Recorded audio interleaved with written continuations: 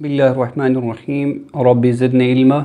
जी दोस्तों, हम डिस्कस कर रहे थे गायनी के पोर्शन से, के रिलेटेड से डिज़ीज़ के बारे में और इसकी मैनेजमेंट जो नेक्स्ट हमारी जो टॉपिक्स है, वो है फर्टिलिटी टू जो कि इनफर्टिलिटी टू किस वजह से होता है? ये मोस्टली जो ओबेसिटी की वजह से भी होता है। जिसमें हमारी बॉडी मास इंडेक्स क्या क्या हो जाते हैं? या मोर देन ठीक है मोर देन थर्टी में भी इनटेक लॉन्गर टाइम के लिए कंस्यूट करे।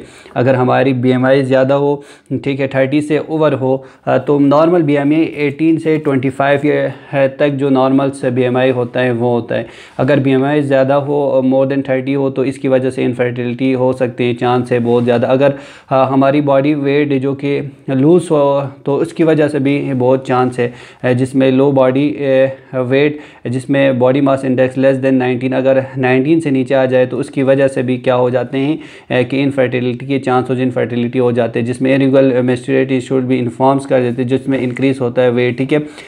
हम टाइड अंडरवेयर अगर कोई टाइड अंडरवेयर पहनते तो इसकी वजह से भी हमारी सेमेंस या इसकी ठीक है एस्ट्रोजेंस की जो कि क्वालिटी है स्पम्स की, ये इसमें भी क्वालिटी में रिड्यूस हो सकती है, इसमें चेंजिंग आ सकती है, इसकी वजह से इन्फर्टिलिटी कास्ट हो सकते हैं। Man should be inform that एवलेट सेक्टेड टेम्परेचर्स जो कि टेम्परेचर्स में डिफरेंस आ सकते हैं, इसकी वजह से भी इन्फर्टिलिटी कास होने की बहुत चांसेस हैं। ठीक है ओकोपेशन जो कि some occupation involve exposure to hazard that deduce male and female इंटरविडियो कुछ ओकुपेशंस हो जाते हैं जिस की ओकुपेशंस की वजह से भी इनफर्टिलिटी की चांस बहुत ज़्यादा होता है डिफरेंट ओकुपेशंस की वजह से, ठीक है? इसमें फॉलिक एंड सप्लीमेंट सप्लीमेंटेशन की अगर हम बात करें तो डायरेक्टली सप्लीमेंटेशन देते हैं विथ फॉलिक एसिड जो कि बिफोर कंसेप्टिव एंड डेप्टिव की, जो कि कितने दिन के लिए ट्वेल्व वीक्स गेस्ट्रेशन पीरियड्स के दौरान, ठीक है, जो कि रिड्यूस करते हैं रिस्क फैक्टर्स को ठीक है इनफर्टिलिटी टू में, ठीक है। अब हम इसकी जो देते हैं सेक्सुअल किसमें सेक्सुअल के उसमें हम दे देते हैं ट्यूब्स में डिफेक्ट जो कि बेबी की डिफेक्ट की के दौरान, ठीक है, इस, इसमें न्यूरल ट्यूब डिफेक्ट हो जाते हैं, ठीक है डोज फाइव एम हम इसकी दे देते हैं। अगर हम इसकी ठीक है इनफर्टिलिटी थर्ड की हम अगर बात करें ठीक है जो कि इनफर्टिलिटी थर्ड में हम इन्वेस्टिगेशन करते हैं, जिसमें हम सेमन एनालिसिस हम चेक कर देते हैं, ठीक है? इनफर्टिलिटी थर्ड में जिसमें क्या करते हैं semens volumes one point five होना चाहिए P H twenty four more than होना चाहिए, ठीक है? टोटल सीरम्स जो कि कोड थर्टी नाइन होना चाहिए को मोटिलिटी फोर्टी परसेंट मोटिलिटी होना चाहिए मोर देन ठीक है? वेटिलिटी फिफ्टी एट परसेंट होना चाहिए, ठीक है? मोर देन रिपीटेड कन्फर्मेटरी के लिए हम डिफरेंट टेस्ट जो कि रिपीटेड डिफरेंट टेस्ट कर देते हैं। आफ्टर तीन मंथ के दौरान हर, तीन मंथ के दौरान हम रिपीटेड टेस्ट करते हैं। पोस्ट कॉर्टल टेस्टिंग करते हैं जो कि सर्विकल्स म्यूकस की, ठीक है?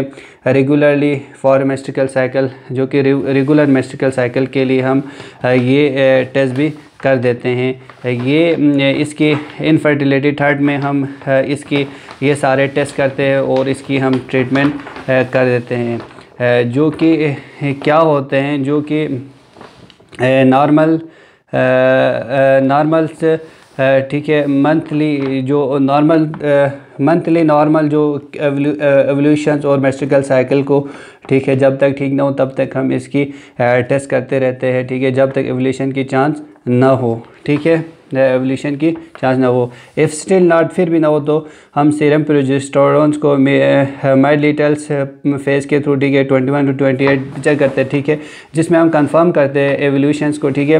एवोल्यूशंस जिसमें सीरम एल एच ठीक है? सीरम एफ़ एच को हम चेक करते हैं सीरम प्रोजेस्टेरोन और मिड लेटल्स फेस को हम चेक करते हैं, ठीक है? कंफर्म कर देते हैं। जिसमें क्या है प्रोलेक्टिन मेज़रमेंट कर देते हैं, जिसमें हम क्या कर देते हैं एवलेटरी डिसऑर्डर्स को गुनेरेटी गुनो ग्ले ग्लेक्टोरिया जो कि पेटोरेटी ट्रोमा है, जो कि हम इसकी, ठीक है, इसको मेज़रमेंट कर देते हैं, जो कि थायराइड फ़ंक्शन टेस्ट हम कर देते हैं, जिसमें हाइपोथायराइडिज्म्स या मेस्टिकल कास इनफर्टिलिटी कर सकते हैं।